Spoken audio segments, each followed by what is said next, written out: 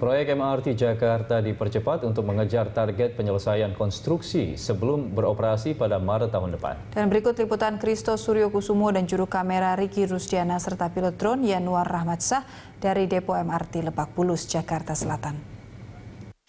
Proyek MRT Jakarta dikhususkan untuk memperbaiki layanan transportasi yang ada di Jakarta dan hingga kini pengerjaannya sudah mencapai 58 persen dan bagaimana proses pembangunan atau pengerjaan proyek MRT Jakarta di Depo Lebak Bulus ini, mari ikuti liputan saya. MRT Jakarta adalah salah satu upaya untuk mengurangi kemacetan di Jakarta, sekaligus mengajak warga Jakarta menggunakan transportasi umum. Di area seluas 8 hektar di Lebak Bulus, Jakarta Selatan, dibangun depo dan stasiun MRT yang kini pengerjaannya mencapai 56,86 persen dari total pekerjaan 76,13 persen. Dari segi konstruksi, depo dan stasiun MRT Lebak Bulus ditargetkan selesai tahun depan. Saat ini sudah terlihat rel kereta dan area publik di stasiun Lebak Bulus juga hampir rampung pembangunannya. Sebelum beroperasi tahun depan, akan dilakukan ragam uji coba seperti uji lintasan. MRT Jakarta akan beroperasi menggunakan sistem operasi canggih CBTC. Sistem operasi ini digunakan melalui pusat kontrol operasi yang berlokasi di Depo Lebak Bulus.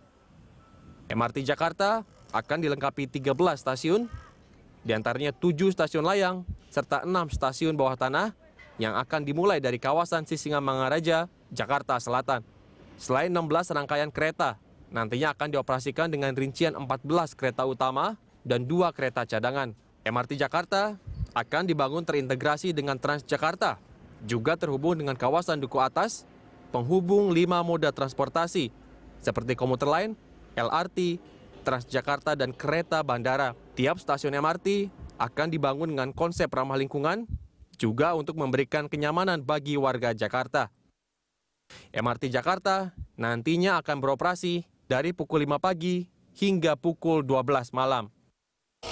Proyek MRT Jakarta ditargetkan akan beroperasi secara komersil pada 1 Maret 2019 mendatang. Namun meskipun begitu masih banyak tahapan pembangunan ini yang harus dilalui oleh MRT MRT Jakarta sehingga nantinya pada 2019 dapat beroperasi secara normal. Dan diharapkan dengan adanya MRT Jakarta ini dapat menjadi pilihan bagi masyarakat Jakarta yang selama ini masih menggunakan kendaraan pribadi untuk mencoba atau kemudian beralih ke fasilitas umum seperti MRT ini untuk beraktivitas ke sejumlah daerah di kota Jakarta. Kristo Suryo Kusumo, Riki Rusdiana, dan pilot drone Yanuar Ratmatsyah, Berita 1, Jakarta.